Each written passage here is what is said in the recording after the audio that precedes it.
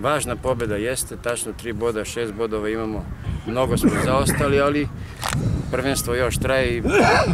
čeka nas već u nedelju jači protivnik Đerda po Kladovu i idemo da igramo futbal, međutim kartoni su nam sad problemi, tako da bit ćemo oslabljeni verovatno u Kladovu. Ste promašili smo u prvom problemu dve, tri izglednih prilika, međutim ipak smo dali tri gola što je možda i uticala koncentracija što se tiče utakmice i važna pobeda. Međutim,